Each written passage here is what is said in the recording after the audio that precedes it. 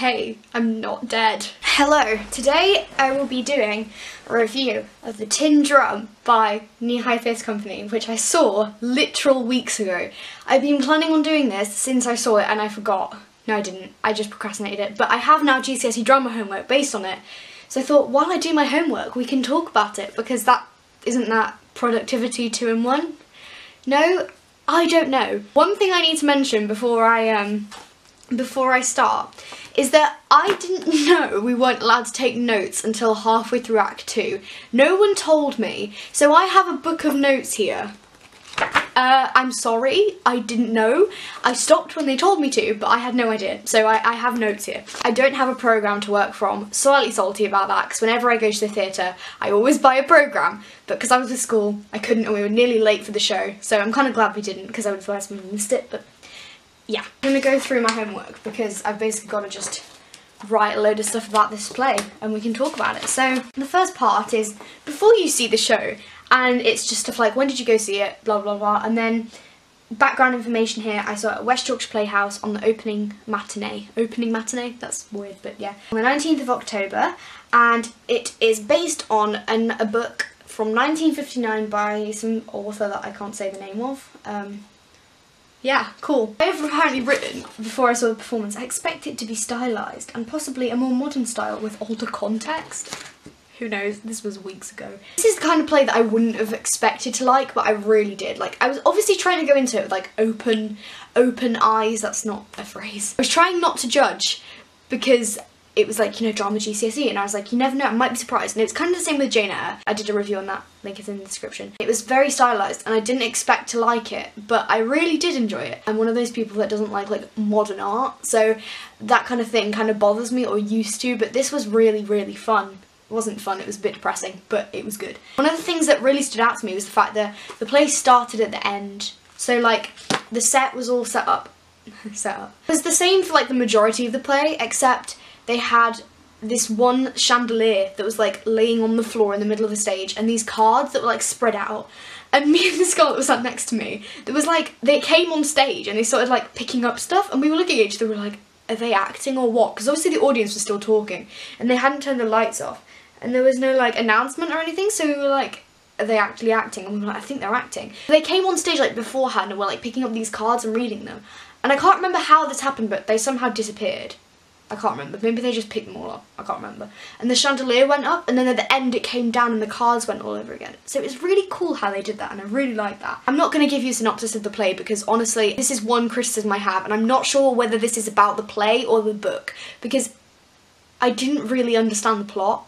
Like, I, and again, I don't, I'm not sure if this is actually down to the play or not. I think it might be more to do with the book because they followed the plot of the book. And I'm thinking, I'm, I'm actually going to read the book at some point, hopefully, anyway. Um, and I'm hoping if I read that it will give me a better grasp of what was going on because I felt like the actual story, like half of the play was like explaining this child Oscar who's the main character's backstory and like his parents. So it was kind of like there wasn't much of a story in my book, but I don't again I don't think that's down to the play. I do think they interpreted it like really interestingly and stuff. And it was it wasn't like it was hard to follow. It was just there didn't seem to be much that happened. And I think that's my main criticism of it. But again, it's not, I don't think it's down to the fact that they did it badly at all. I think it's because of the, the subject matter and I think in, in a play, and I think it was, was it, I think it was two hours and five minutes. It was a really long play as it is, but in a play with, I presume this book is like massively thick, I, I don't know, but I presume it is. I don't know how you can condense that plot into that. Um, so I think they did a really good job of that and it was interesting. And I do think that the, the, the moral of it whether like that's kind of up up to interpretation, but like what they th- what you think the story's about because it's, it's about this boy with a tin drum. I think that's completely like up to your own interpretation, but they did that well, and I think that's the aspect they were going for. If you get what I mean.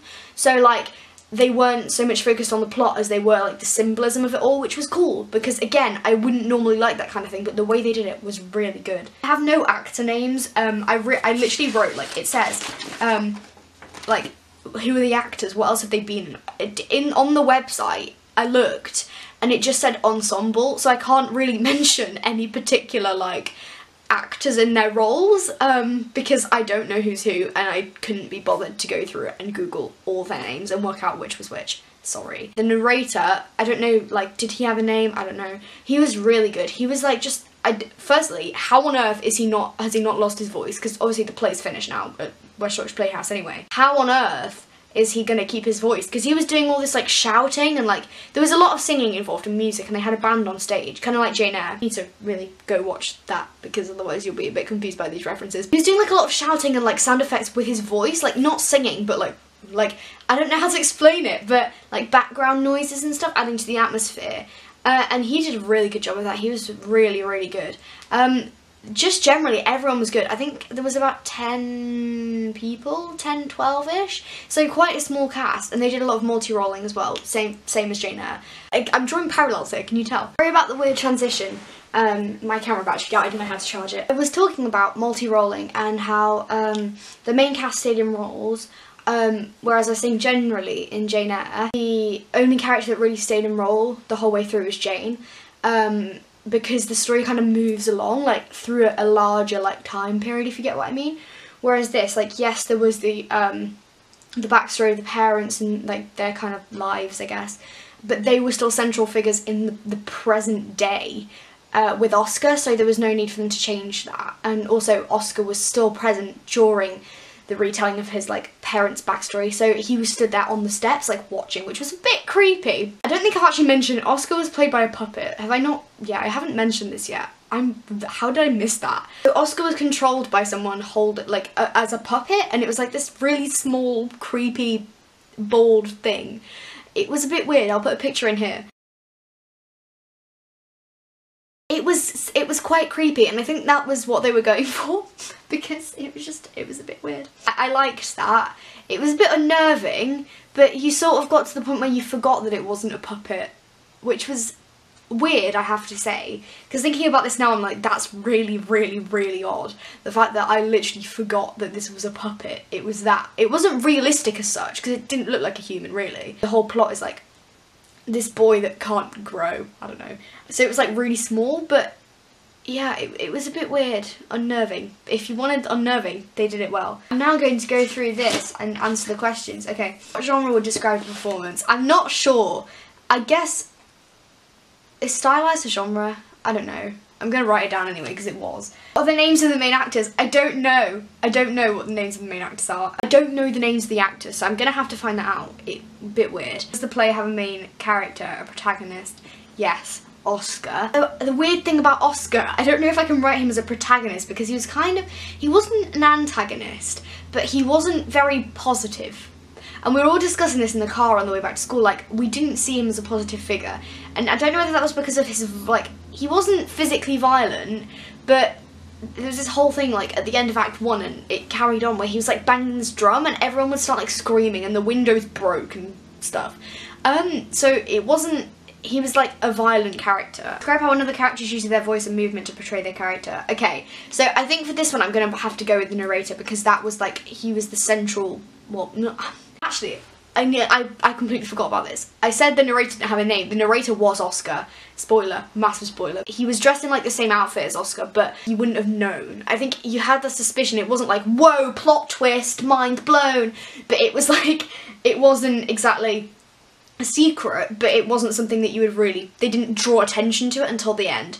Um, and he was the one who like did all the yelling and the background noise. I, I again, I just threw my pen. I don't know exactly what I would call that, but it was definitely use of voice and it was effective. There was a lot of bits where they were singing um, and he would sing a different part and it was kind of like, I guess, excluding him from the rest of them, therefore excluding Oscar from the rest of them, if you get what I mean. If there was any other character, I totally understand why they had like two two versions of him because it was like past and future, but if he can't grow, surely he stays the same.